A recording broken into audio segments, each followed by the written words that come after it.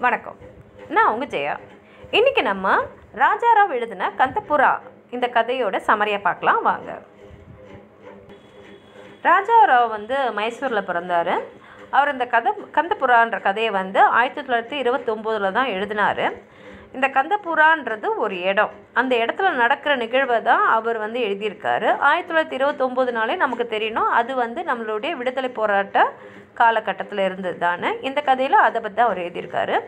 அவர் வந்து பத்மபூஷன் அவார்டை வந்து ஆயிரத்தி தொள்ளாயிரத்தி அறுபத்தொம்போதுலேயும் Naushad international prize for literature அவார்டை வந்து ஆயிரத்தி தொள்ளாயிரத்தி எண்பத்தெட்டுலேயும் வாங்கியிருக்காரு. அவருடைய எழுத்துக்கள்லேயே ரொம்ப ஃபேமஸான புக்ஸ்னு பார்த்தீங்கன்னா த செர்பெண்ட் அண்ட் த ரோப் அதுக்கப்புறம் அவருடைய சிறுகதை தொகுப்பான the cow of the barricades and other stories இந்த கதப்புறா வந்து எப்படி காந்திய காந்தியவாதமும் அந்த காந்தி வந்து ஆங்கிலேயர்களை எதிர்த்து போராட ஆரம்பித்த போது அது எப்படி வந்து வளர்ந்தது அப்படின்றது தான் இந்த கந்தப்புறா கதையில் அவர் அழகாக எழுதியிருக்காரு. இந்த கதை வந்து அச்சக்கான்னு ஒருத்தங்க வந்து சொல்கிற மாதிரி இருக்குது இவங்க யாருன்னா ஒரு அந்த கந்தபுரா கிராமத்தில் இருந்த ஒரு வயசான பிராமண பெண்மணி தான் இவங்க. இந்த கதையை அவங்க எப்படி சொல்கிறாங்கன்னா ஒரு ஸ்தல புராணம் சொன்னால் எப்படி இருக்கும்? இப்போ வந்து ஒரு கோயிலில் ஒரு விக்கிரகம் இருக்குன்னா அது கடவுளாக வழிபடும் போது அந்த ஸ்தலம் எப்படி உருவாச்சு? அந்த அந்த ஸ்- அந்த கடவுளோட பின்னணி என்னன்னு சொல்லுவாங்களோ அந்த மாதிரி தான் அவங்க இந்த கதையை சொல்கிறாங்க முதல்ல வந்து அவங்க அந்த ஊரோடைய அவங்க வழிபாடுற கடவுளை பற்றி சொல்கிறாங்க அந்த கடவுள் வந்து கெஞ்சம்மான்ற கடவுள் தான். அவங்க வந்து கெஞ்சம்மா மலையில் வந்து எந்த அந்த டீமன் சொல்லுவாங்க இல்லையா அதாவது வந்து ராஷிஷன் எந்த ராஷிஷனோட வந்து கொன்று அந்த கிராமத்தை காப்பாற்றினாங்களோ அந்த வடிவத்தை தான் அவங்க இப்போ கடவுளை வந்து வழிபட்டுட்டு வராங்க.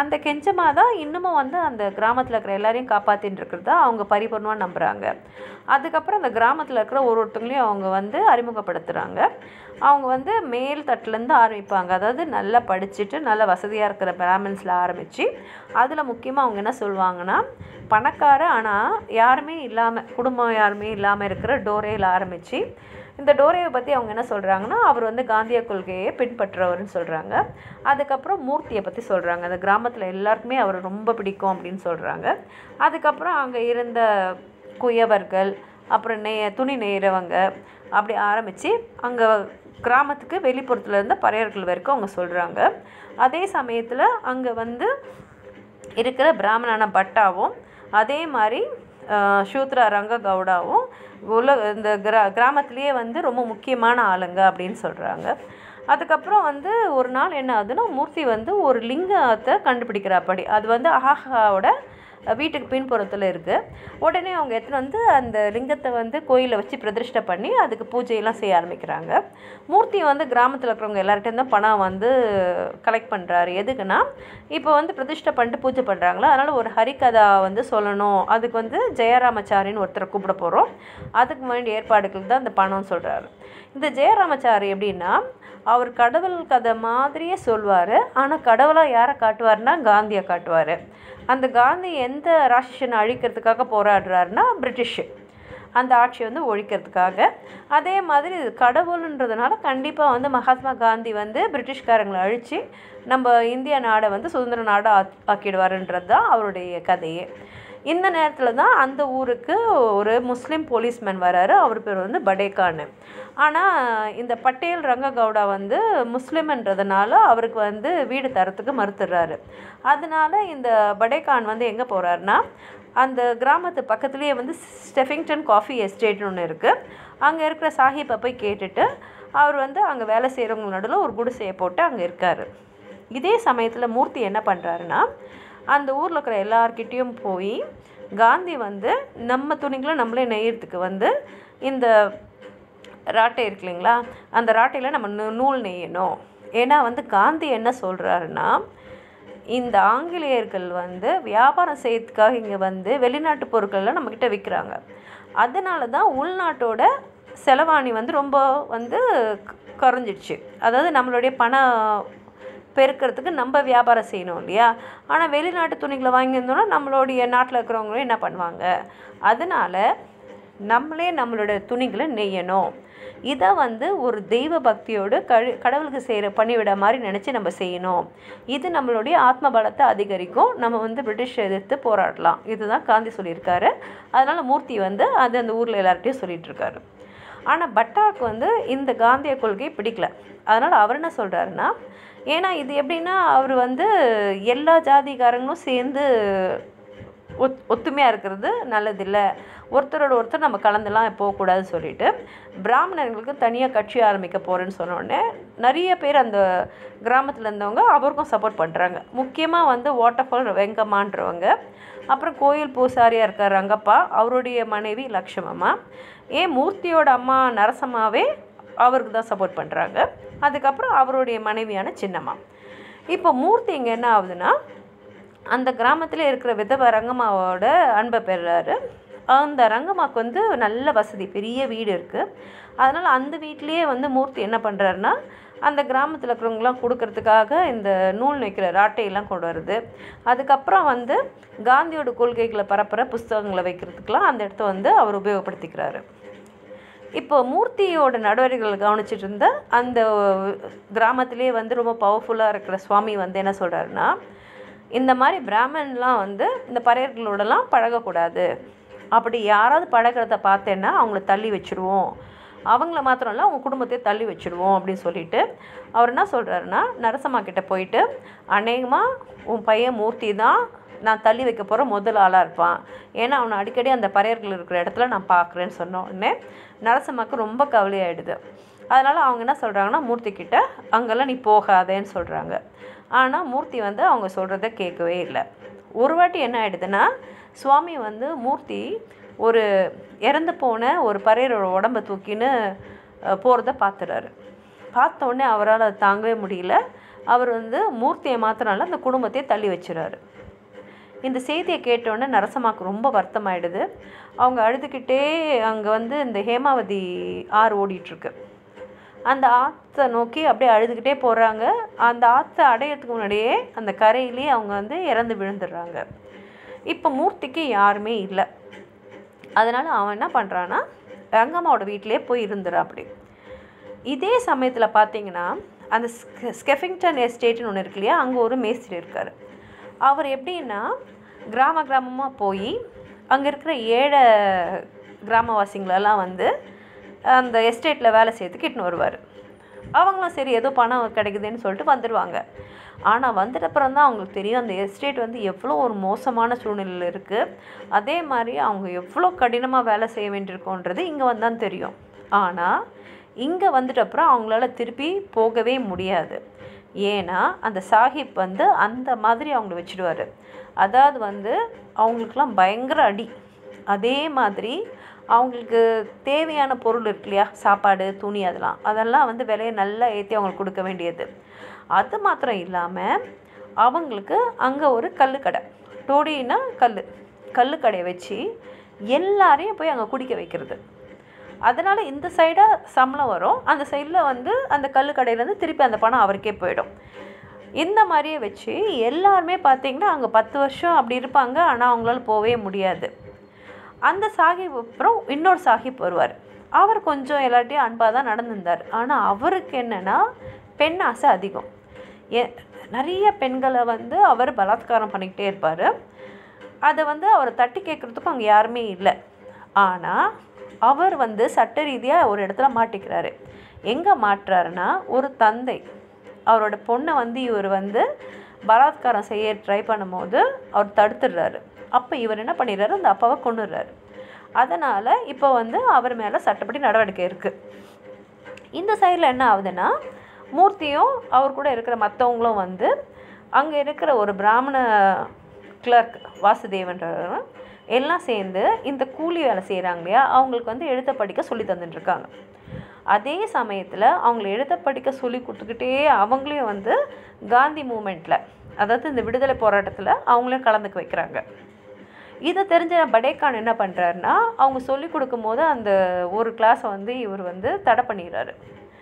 அது என்ன ஆயிடுதுன்னா அந்த கூலிங்களுக்கு நடுவில் இன்னும் நம்ம நல்லா படிக்கணும் நம்ம இன்னும் காந்தி கொள்கைகளை பின்பற்றணுன்ற ஒரு ஊக்கத்தை அவங்களுக்கு கொடுக்குது. அந்த கூலியிலே இரு மக்களுக்கு நடுவில் இருந்த ரச்சனான்னு ஒருத்தங்க அந்த எஸ்டேட் வெளியில் வந்து அவங்க கந்தபுரா கிராமத்துக்கு வந்து அங்கே இருக்க ஆரம்பிச்சிடுறாங்க. ஒரு நாள் என்ன ஆயிடுதுன்னா ஒரு போராட்டம் மாதிரி வெடித்து அங்கே இருந்த பெண்கள்லாம் வந்து அந்த முஸ்லீம் போலீஸ் கான் இருக்கார் இல்லையா அவரையே வந்து அடிக்கிற அளவுக்கு போயிடுறாங்க. இது தெரிஞ்ச உடனே மூர்த்திக்கு வந்து பதட்டமாயிடுது. ஏன்னா வந்து காந்தியோட வழி வந்து அமைதியான வழி. ஆனால் இது வந்து வன்முறை. அதனால் என்ன ஆகிடுதுன்னா மூர்த்தி வந்து அங்கே கோயிலில் போய் உட்காந்துன்னு ஒரு மூணு நாளைக்கு வந்து அவர் வந்து உண்ணாவிரதம் இருக்கார். அந்த சமயத்தில் அவர் வந்து தியானம் பண்ணிட்டுருக்கார் அந்த தியானத்தில் என்னென்னா அவருக்கு வந்து சிவாவும் விஷ்ணுவும் வந்து தெரிகிறாங்க எப்படின்னா ரங்கமாவாக தெரியுறாங்க. அவர் அந்த சமையலை பார்த்து சமயத்தில் நல்லா பார்த்துக்கிறது வந்து கிருஷ்ண ராமகிருஷ்ண ஐயான்றவங்களும். அந்த பறையருக்கு நடுவில் வந்து ஒரு விதவை இருக்காங்க. அவங்க பேர் ரத்னா. அவங்க ரெண்டு பேரை தான் வந்து மூர்த்தியை நல்லபடியாக அந்த டைமில் பார்த்துக்கிறாங்க. இந்த உண்ணாவிரதம் வந்து முடிச்சிட்டு அப்புறம் பார்த்தீங்கன்னா மூர்த்தியோட மனசு வந்து நல்லா ஒரு தைரியமாகிடுது எல்லாரையும் வந்து நல்ல விதத்தில் எதிர்கொள்கிற அளவுக்கு அவனுக்கு வந்து மனப்பக்குவம் வந்துடுது. அதனால் என்ன ஆயிடுதுன்னா don't touch the government campaign அதாவது வந்து ஒத்து ஒத்துழையாமை இயக்கம்னு காந்தி ஆரம்பித்தார் இல்லையா? அதை வந்து முழும முழுமையாக நம்ம வந்து கடைப்பிடிக்கணும்னு மூர்த்தி வந்து முடிவு பண்ணுறபடி அதனால் அவர் என்ன பண்ணுறாருன்னா அவர் பட்டேல் ரங்ககவுடாவை போய் அவர் என்ன திட்டம் வச்சுருக்கான்னு சொல்கிறாரு அதை கேட்டவுடனே பட்டேல் ரங்ககவுடாவுக்கும் அது ரொம்ப பிடிச்சிருந்து அவரும் வந்து நான் மகாத்மா காந்தியோட கொள்கைகளை பின்பற்றேன்னு சொல்லிடுறாரு. அதுக்கப்புறம் மூர்த்தி என்ன பண்ணுற அப்படின்னா அங்கே இருக்கிற பழைய உமன் பெண்களெல்லாம் போய் பார்த்து நீங்களும் வந்து நூல் நெய்யணும். நூல் நெஞ்சிங்கன்னா தான் எங்களோட இயக்கத்தில் நீங்கள் சேர்ந்த மாதிரி அப்படின்னு சொல்லி அவங்களோட சேர்ந்துறாரு. பட்டாக் வந்து அவரோட பொண்ணை கல்யாணம் பண்ணணுன்றதுனால அவர் வந்து அவருக்கு வந்து நல்லா தெரிஞ்ச ஒரு லாயரு அவர் வந்து மனைவி இழந்தவர். கொஞ்சம் நடுத்தர வயசு தான் அட்வொகேட் சென்னப்பான். அதனால் அவரோட வந்து அவரோட பொண்ணை கல்யாணம் பண்ணி வச்சுறாரு இங்கே என்ன ஆகுதுன்னா கார்த்திகை திருவிழா நடக்கும்போது போலீஸ் வந்து மூர்த்தியை அரெஸ்ட் பண்ணிட்டு போயிடுறாங்க. உடனே எல்லாருமே வந்து கிராமத்தாளெலாம் வந்து சேர்ந்து அதுக்கு எதிர்ப்பு குரல் கொடுக்குற மாதிரி மகாத்மா காந்திக்கு ஜெயின்னு சொல்கிறாங்க அதை கேட்ட உடனே போலீஸ்காரங்க அவங்களெல்லாம் அடித்து மொத்தம் பதினேழு பேரை வந்து அரெஸ்ட் பண்ணிட்டு போகிறாங்க ஆனால் பின்னாடி மூர்த்தியை மாத்திரம் போலீஸ் ஸ்டேஷனில் வச்சுட்டு மற்றவங்களெல்லாம் அமுச்சிடுறாங்க. இங்கே மூர்த்தி வந்து போலீஸ் ஸ்டேஷனில் இருக்கிறத பார்த்த உடனே அவரை விடுவிக்கிறதுக்காக அவருக்கு தெரிஞ்ச லாயர்ஸ்லாம் நிறைய பேர் வராங்க ஸ்பிரிச்சுவல் லீடர்ஸும் வராங்க. ஆனால் மூர்த்தி வந்து இல்லை இல்லை. இவங்க எவ்வளோ நாள் என்னை இங்கே வச்சுருக்காங்களோ நான் அத்தனை நாள் இங்கே இருப்பேன் அப்படின்றார். அப்போ வந்து அட்வொகேட் சங்கர்னு ஒருத்தர் வந்து சொல்கிறாரு இல்லை. இந்த தேசத்தோட இயக்கத்துக்கு நீ ரொம்ப தேவை. நம்ம வந்து பிரிட்டிஷ் வந்து எதிர்த்து போராடணும். அது நீ வெளியில் வந்தால் தான் நம்ம செய்ய முடியும்னு சொன்ன உடனே மூர்த்தி ஒத்துக்கிட்டு அவரும் வெளில வந்துடுறாரு. போலீஸ்காரங்க என்ன பண்ணுறாங்கன்னா இந்த நேரத்தில் வந்து அட்வொகேட் ரங்கனாவையும் அரெஸ்ட் பண்ணிடுறாங்க. ரங்கம்மாவும் நஞ்சம்மாவும் அவங்க போய் அட்வொகேட் சங்கரை போய் பார்க்குறாங்க அதே சமயத்தில் என்ன ஆயிடுதுன்னா இந்த பிரிட்டிஷ் கவர்மெண்ட் வந்து ரங்கேகவுடாவை தூக்கிட்டு அந்த இடத்துல வேறு ஒரு பட்டையில் அமைச்சிடுறாங்க. மூர்த்தியும் திருப்பி மூணு மாதம் சிறையில் அனுப்பிச்சிடுறாங்க. இதெல்லாம் கேள்விப்பட்டு ராமகிருஷ்ண ஐயா மனசு வருத்தத்தோடு அப்போ நல்லா மழை பெய்யுது அவர் போய்கிட்டே இருக்கும்போது என்ன ஆயிடுதுன்னா அங்கே இருக்கிற தூணில் வந்து தவறி விழுந்து அவர் இறந்துடுறாரு அவரை வந்து அவங்க எரிச்சிட்டு இருக்கும்போது அந்த அவரோட உடலை இந்த ஹேமாவதி ரிவர் வந்து அப்படியே பொங்கி வழிஞ்சி அவருடைய சாம்பல் அப்படியே உள்வாங்கின்னு போயிடுது. இப்போ இந்த கிராமத்தில் இருக்கிறவங்களாம் என்ன நினைக்கிறாங்கன்னா சரி இப்போ வந்து ராமகிருஷ்ணயா இல்லை இல்லையா? ரத்னாவுக்கு படிக்க தெரியும். அதனால அவளே வந்து டெய்லி வந்து அந்த கோயிலில் உட்காந்துன்னு அந்த ஸ்கிரிப்சர்ஸ்லாம் படிப்பாங்க.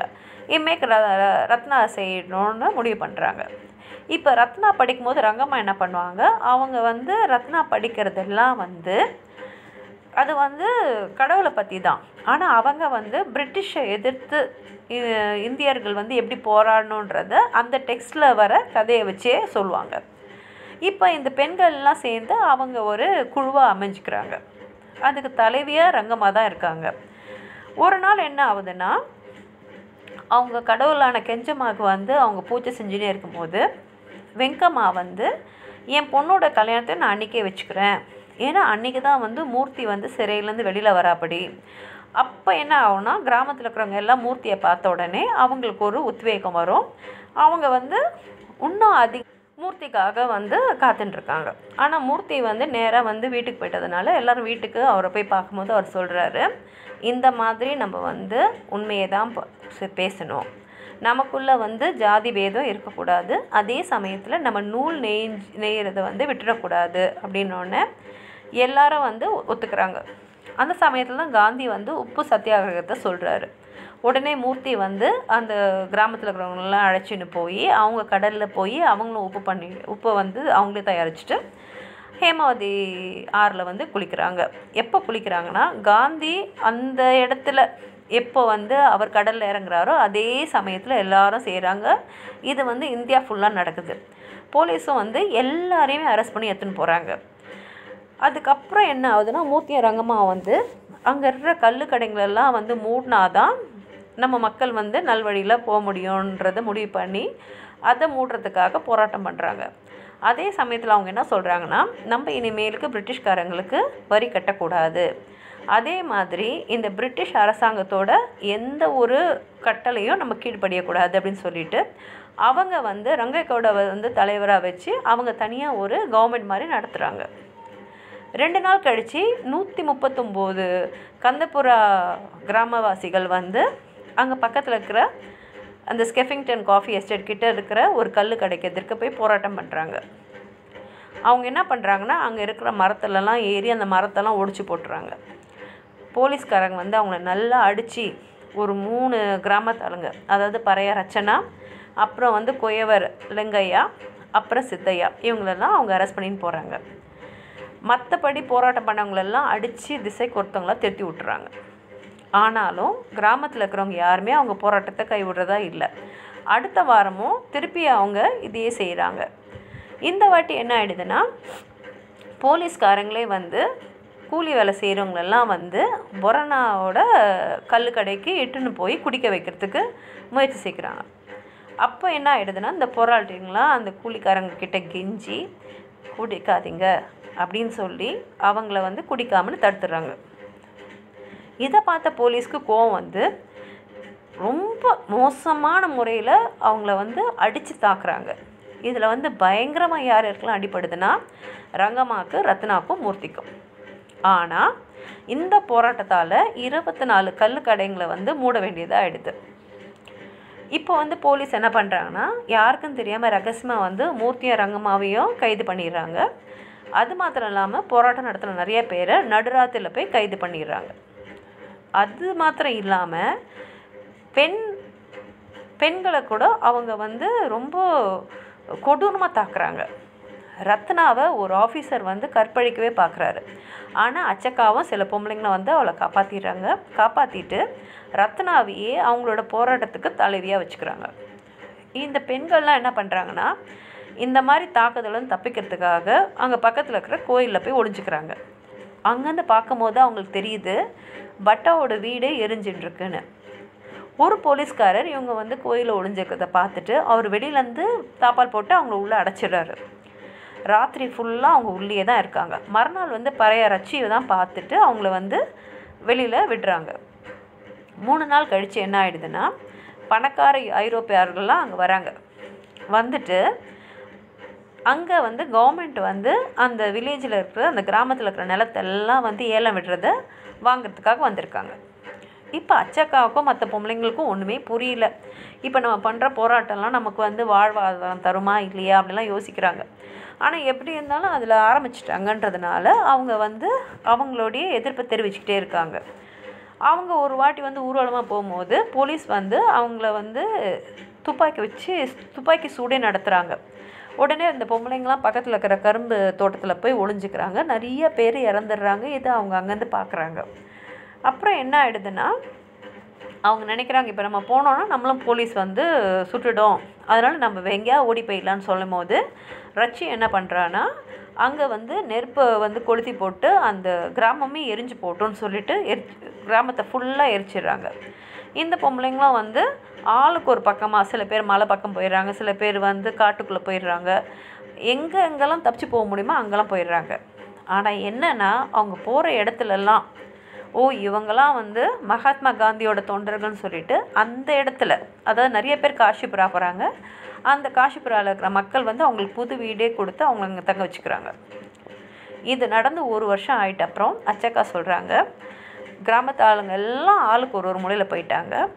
போன இடத்துலையே அவங்க வந்து செட்டிலும் ஆயிட்டாங்க. மூர்த்தி வந்து ஜெயிலேருந்து வெளியில் வந்த அப்படி ஆனால் வந்துட்டு அப்புறம் அவர் காந்தி கொள்கையை விட்டுட்டு ஜவஹர்லால் நேரோட கொள்கையான எல்லாருக்கும் எல்லாமே சமமாக இருக்கணும் அப்படின்றதுக்காக வேலை செய்ய ஆரம்பிச்சிட்டாரு. ரங்கம்மா இன்னும் ஜெயிலில் தான் இருக்காங்க. திரும்பி வந்த ஒரே ஆள் வந்து ரங்ககவுடா தான். அவர் அச்சக்கா கிட்ட என்ன சொல்கிறாருன்னா கந்தபுரா கிராமத்தை முழுசுமும் பாம்பேலேருந்து வந்த மக்கள் வந்து வாங்கிட்டாங்க. ஏன்னா அந்த கவர்மெண்ட் வந்து ஏலம் விட்டாங்க இல்லையா? அவங்க வாங்கிட்டு இப்போ ஃபுல்லாக அந்த மக்கள் தான் இந்த இடத்துல இருக்காங்கன்னு சொல்கிறது மாதிரி இந்த கதை முடிஞ்சிருக்கு. இந்த கதையை பற்றி இன்னும் நீங்கள் தான் சொல்லணுன்னா கீழே கமெண்ட் பாக்ஸில் எழுதுங்க. இந்த வீடியோ லைக் பண்ணுங்கள் உங்கள் ஃப்ரெண்ட்ஸோடு ஷேர் பண்ணுங்கள் சப்ஸ்கிரைப் பண்ணாதவங்களாம் சப்ஸ்கிரைப் பண்ணுங்கள் நன்றி.